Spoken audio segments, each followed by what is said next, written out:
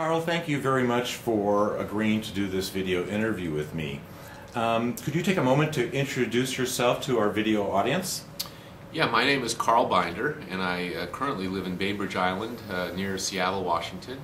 Um, I have a consulting firm. Our group is recently renamed the Performance Thinking Network, and we do work all over the world. We work with large companies, mostly in America, but also in Korea and Europe and sometimes Latin America. What was your first exposure to HPT or whatever it was called back in the day? And if you could bring up uh, some of your educational background and some of the famous people that you've been associated with in the past. Well, I suppose strictly speaking, it was my first contact with B.F. Skinner. Uh, I was when I was an undergraduate, I, I actually wrote him an enthusiastic letter about one of his books, and he wrote me back. And then when I was uh, moving from one graduate school to another, he actually invited me to come and be a graduate student there at Harvard. And so I was an experimental, uh, experimental psychology student at Harvard for some years, but I was really interested in application.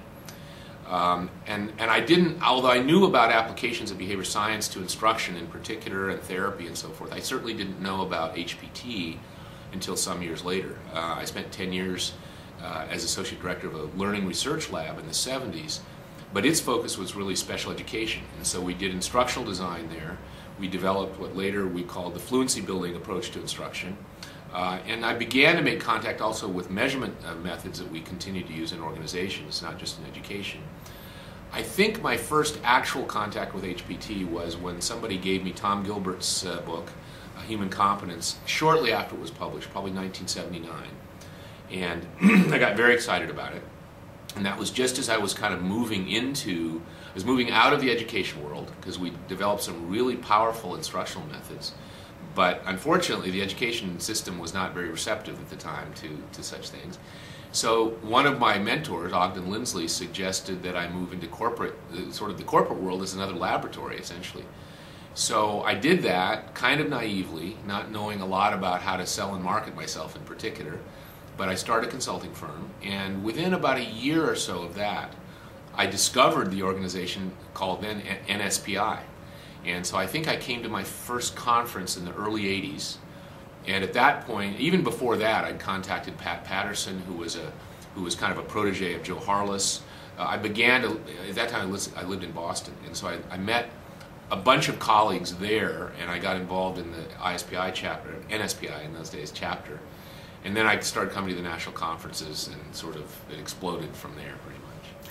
Can you uh, let's talk a little bit about some of your biggest influences, like Og Lindsley and others. But who would you attribute uh, those in the society or outside the society who have had a major influence on your thinking about uh, human performance technology? Well, Gilbert was very much the, the, my principal influence early on. And it's the thing that struck me about him when I read that book, besides the fact that Human Competence is one of those books where there's more ideas than kind of most people can use in a lifetime and it's not an easy book, and I, mine is dog-eared. I mean, I still go back to it sometimes.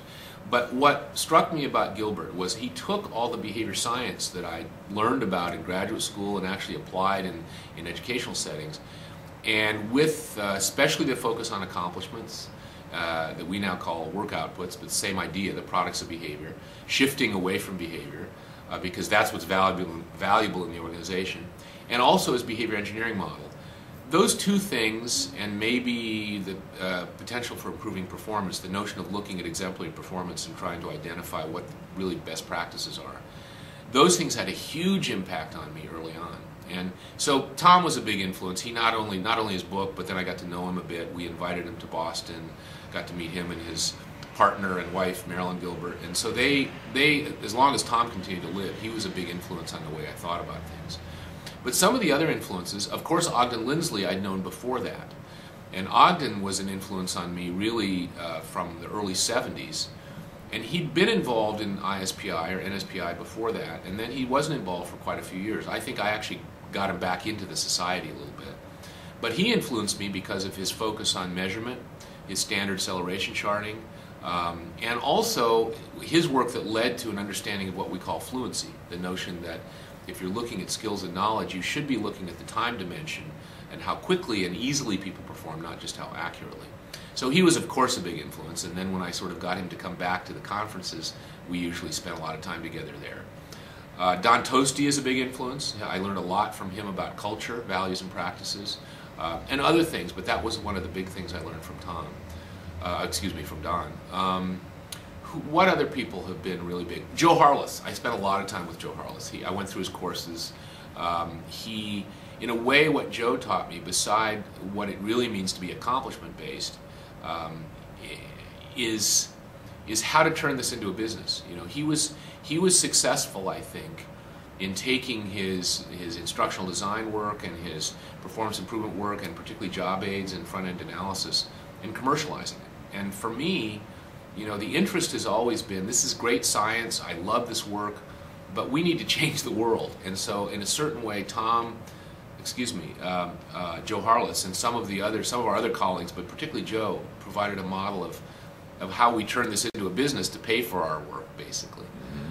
Um, Roger Kaufman, another big influence. Uh, Roger, I know, is well known for a lot of things, but his focus on mega, on societal goals and aligning what we're doing with societal goals has, has been, has inspired me in a lot of ways. So there's probably others, but those are some of the big ones. Any favorite books or articles that you might suggest to those who are at the entry point mm-hmm. of HPT?